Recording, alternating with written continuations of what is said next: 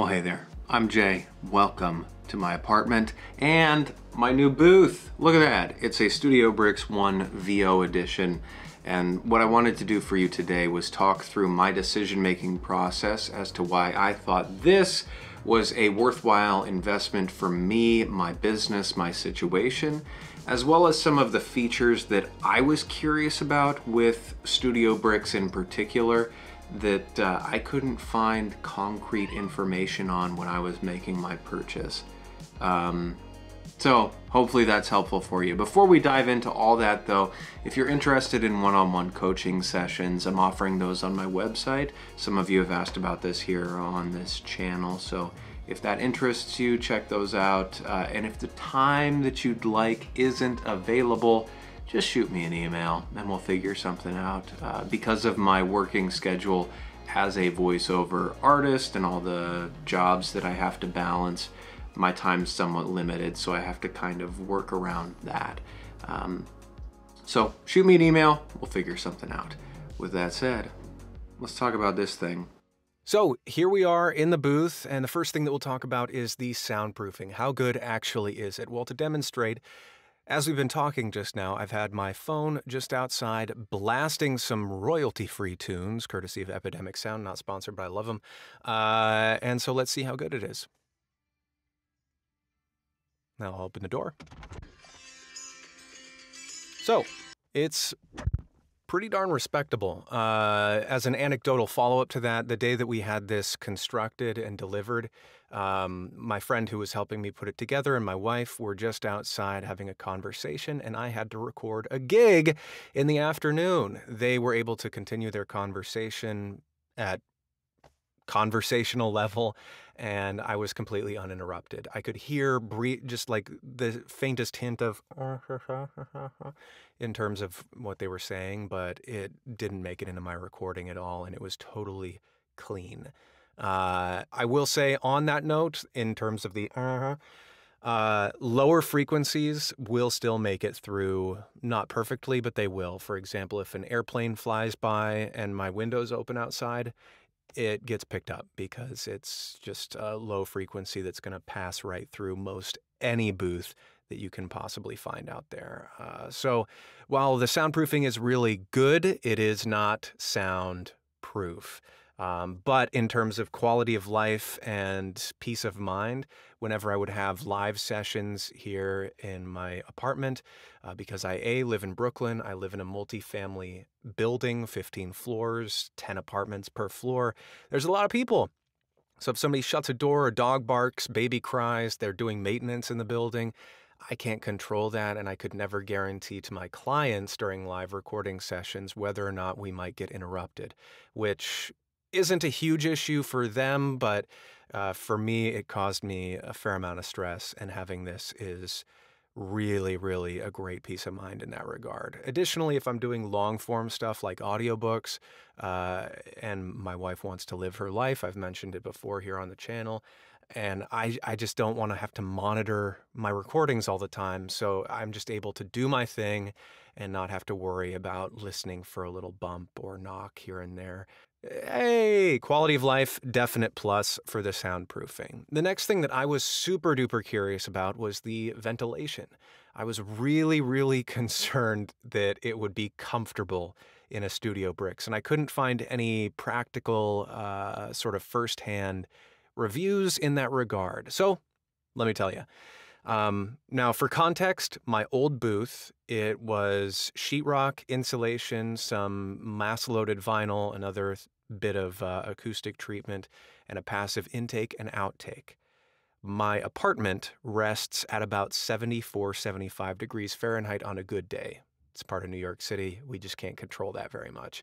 Uh, so my old booth, with all of that, the passive intake, outtake, would hover around 85 degrees Fahrenheit on a good day and up to about 95 degrees during the summer. And uh, if I had a long session, an audiobook, for example. So I am used to sweating it out and breathing heavily because I'm just being stifled. Uh, this booth is much, much more comfortable. Is it still warm? Yes. The ventilation does work, but it uh, does get progressively toastier and toastier. I would say that this hovers at about 79 degrees at its max, and then it's just resting at about, uh, well, I should say it goes a little bit above 79, but whenever I check the temp, it's around there. And the otherwise, it just rests at the ambient temperature of my apartment. So it it does get warmer after a time. Is it uncomfortable for me? No, but uh, depending on where you live, what you're used to, uh, just part of the gig. As far as the ventilation system that's provided with it, this box that looks like this, as well as the passive exhaust, the uh, intake system is dead silent. I just always keep it on full blast because I just want air moving through here. Um, and uh, it's so quiet that I'm not even sure that I've installed it correctly. That's how quiet it is. The passive exhaust, it does its job, um, but as I noted, it does build in heat. What I did do was from my old booth, I took the exhaust system, which uh, looked a bit like this. It, uh, I stuck a four inch ducting into the exhaust port at the top of here uh, top of the booth, strung that to my um, ventilation system, and just pulled it out. So, do you feel like you're in an air conditioned environment? No, uh, but it's comfortable, at least for me. Next up, the acoustic treatment. How does it actually sound in here? Well, you're listening to it now, and it sounds pretty good pretty darn good. This stuff here is really, really nice. It's made out of plastic bottles, if you can believe it. Uh, I will note that if you're considering trying to go budget and not get the VO edition, uh, which is totally reasonable, uh, I would highly recommend looking into the bass traps that Studio Bricks provides or investing in your own. That is absolutely 100% necessary for the sound of this space we did sort of an A B test before I installed them, and it was remarkably noticeable how boxy this place got without a bass trap. Uh, so you will need that. To note, as far as the reflections, it's not as dead in terms of the reflections in this booth as it was compared to my old booth. And the reason being is this lovely glass door to my left. Does it sound bad because of those reflections? No, I don't think so. Uh, could it sound better? Maybe. I'm thinking I'm going to try putting a curtain over this door just to tamp down those reflections a little bit. I will say, however, the benefits of having a glass door that lets you see outside of your booth and let in sunlight, can you imagine? My quality, my uh, mental health has markedly improved just by virtue of not feeling trapped in a box, staring at a computer screen and talking to myself for hours and hours a day. It's amazing how good it feels to see the sun. Um, in addition to that, the amount of working space I have, because one thing I was considering was the Studio Bricks 1 versus the 1 Plus, the difference between those simply being an extra foot of working space in the long dimension.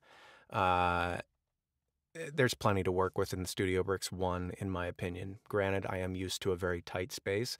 Um, there's still lots of room for me to work with here. I would say the Studio Bricks 1 Plus might be beneficial if you would like a bigger chair or if you're a really active person uh, in the booth. But for me, this is a good way to go, particularly when I needed to go as budget as possible with this investment. The Studio Bricks VO edition, let's talk a little bit about that. So that comes with this table, the added bass trap, a Yellowtec mounting system, as well as a mounted uh, monitor bracket that you can drill into the walls of your booth. The way that that monitor bracket works, you just pop a couple of uh, these guys off sitting behind me.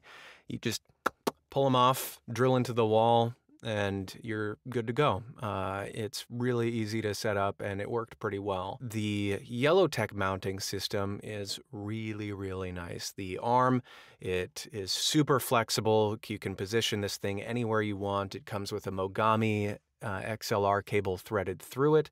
I will say the Mogami cable seems, in terms of length, intended for you to have your audio interface and maybe even computer in the booth with you. For myself, for both uh, radio frequency interference and just heat output from both of those items, the interface and computer, I've routed everything out to my desk behind my booth.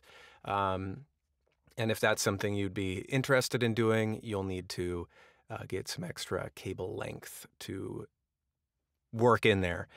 Uh, but other than that, the mounting system is fantastic. The arm, it comes with a monitor mount, which I was curious about. You can mount your computer to the arm that swings off of the mounting system, which is really nice. You can position, tilt it however you want.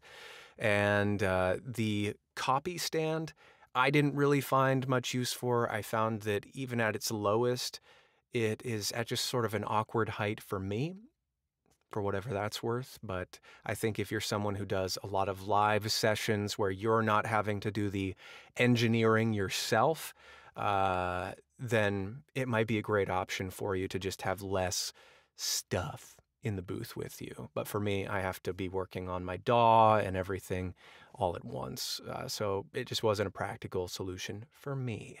The table is at a bit of an awkward height for me if I'm being honest. I am, again, in my old booth, I had a little bit more real estate to work with, and my table was height adjustable, so I could tweak it exactly to where I wanted it.